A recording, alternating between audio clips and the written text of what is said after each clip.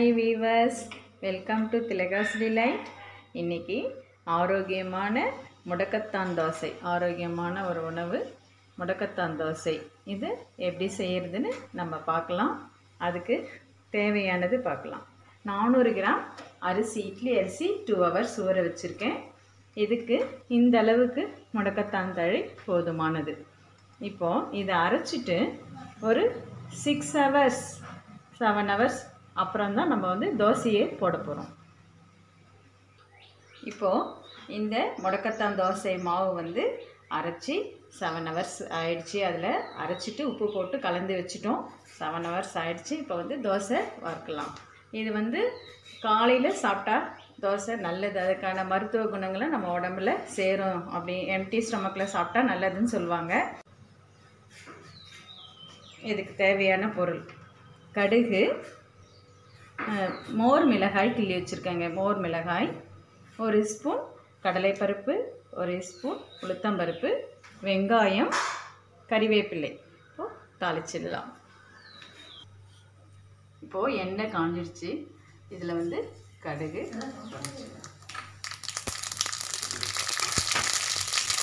கடுகு பொறிச்சிருச்சு பருப்பு சேர்த்துடலாம். கடலப்பருப்பு உளுத்தம்பருப்பு சேர்த்து வறுத்துடலாம்.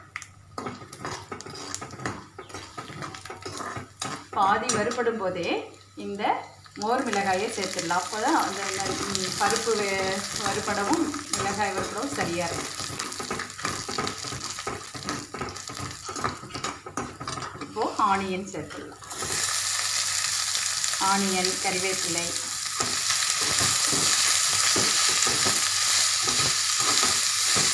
இப்போது வெங்காயம்லாம் நல்லா வதங்கிடுச்சு. இதை மாவில் சேர்த்துடலாம்.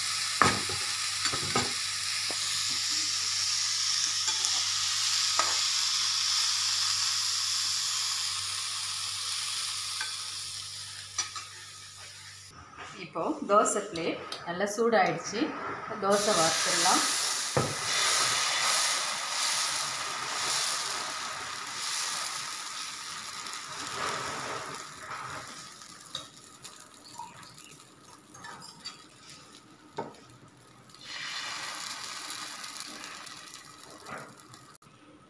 எண்ணெய் விட்டுடலாம்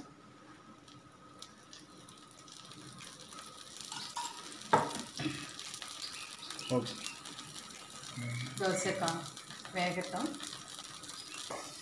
தோசை திருப்பி போடலாம்.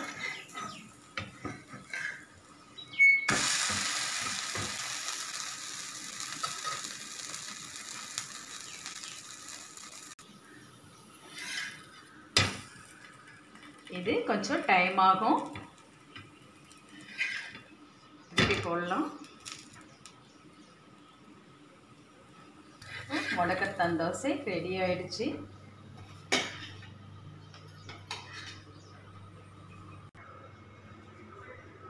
முடக்கத்தான் தோசை செய்தாச்சு. அது தொட்டுக்க வேர்க்கடலை சட்னி செய்திருக்கேன். முடக்கத்தான் வந்து கால் முட்டி வலிக்கலாம் நல்லதுன்னு சொல்லுவாங்க. இதை டெய்லி எடுத்துக்கிட்டாலும் நல்லது. நீங்களும் ட்ரை பண்ணி பாருங்கள் எப்படி இருக்குன்னு கமெண்ட்ஸில் சொல்லுங்கள் தேங்க்யூ